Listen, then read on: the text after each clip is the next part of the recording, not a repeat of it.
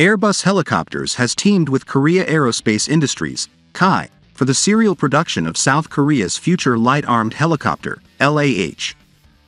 The collaboration is part of a $235 million contract signed in December 2022 for 10 LAH for the Republic of Korea Army. Under the partnership, Airbus will provide the required kits to ramp up mass production at KAI's Sacheon facility. The Army will start receiving the helicopters by the end of 2024, with follow-on orders expected into the next decade.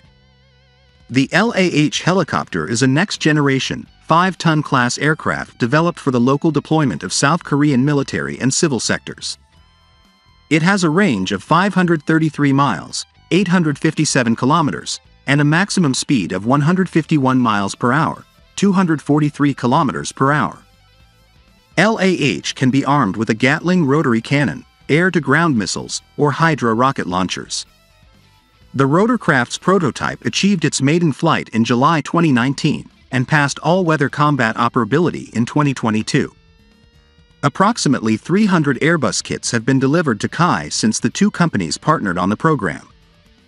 Alongside the LAH effort, the two firms signed a separate agreement to expand collaboration for the Joint Korean Utility Helicopter or KUH Surion program.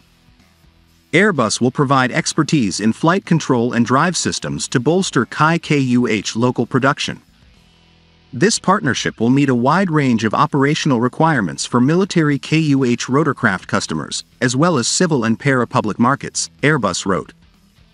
It will also support the recently launched joint development of new KUH variants, including the mine countermeasure and marine attack helicopters, and their corresponding future versions. We are happy to strengthen this strategic partnership with these agreements, where we will secure the delivery of these two highly performing platforms for many years to come. Airbus Helicopters Executive Vice President Matthew Louvot stated. These two long-term agreements will contribute to increasing competitiveness of KUH Surion and LAH in both local and global markets, by stabilizing kit deliveries and prices, while strengthening partnership in various rotorcraft businesses, KAI Executive Vice President Han Chong Hyun added.